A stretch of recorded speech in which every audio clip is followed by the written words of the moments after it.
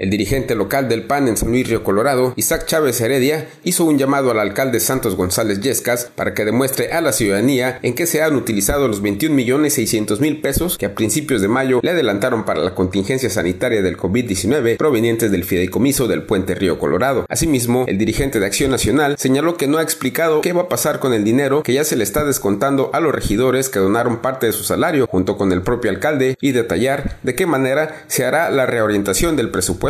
eh, estamos en un punto muy difícil y hacemos un llamado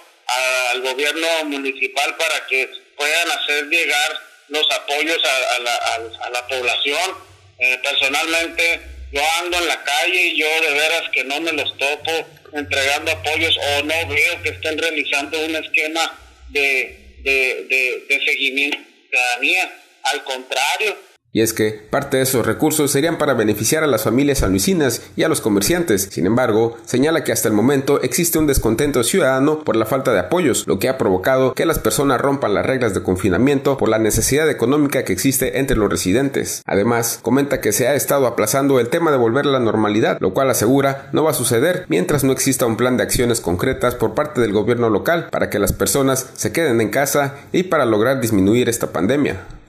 pero no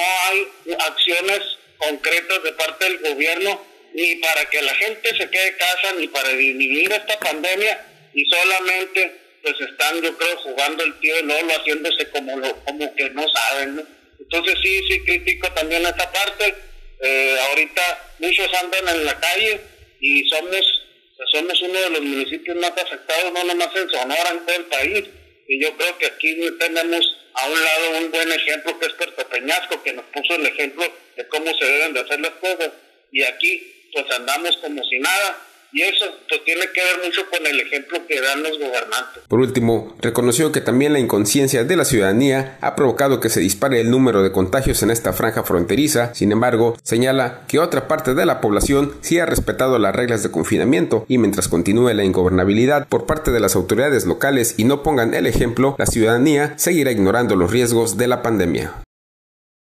Cristian Arellano, Mega Noticias.